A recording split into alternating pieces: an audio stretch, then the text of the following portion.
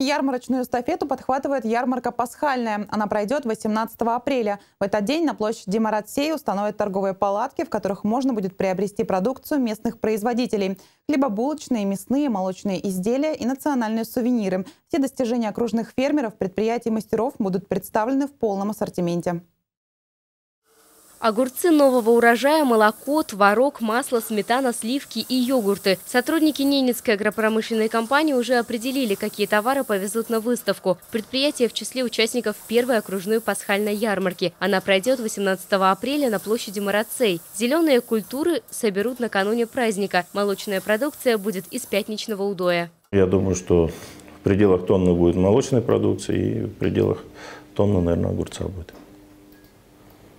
То есть потребность, если нужно будет нам, э, если мы увидим на ярмарке, что наша продукция расходится, мы сможем быстро подвести еще продукцию. Собрать всех представителей агропромышленного сектора вместе в Ненецком округе еще не удавалось. Обычно свою продукцию они выставляют на столичных ярмарках и фестивалях.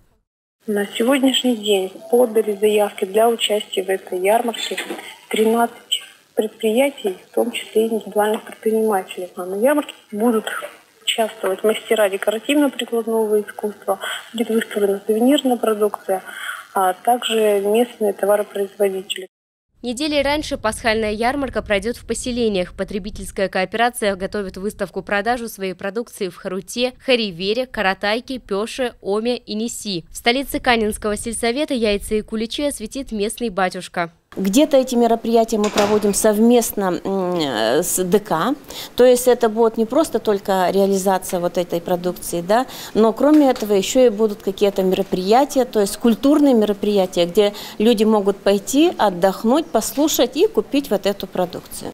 Принять участие в пасхальной ярмарке могут все желающие. Для этого необходимо подать заявку в электронном виде в срок до 16 апреля. Телефон для справок 2 13 94. Надежда Литкова, Валентина Чибичек, Вадим Носкин, Антон Вудряков. Телеканал «Север».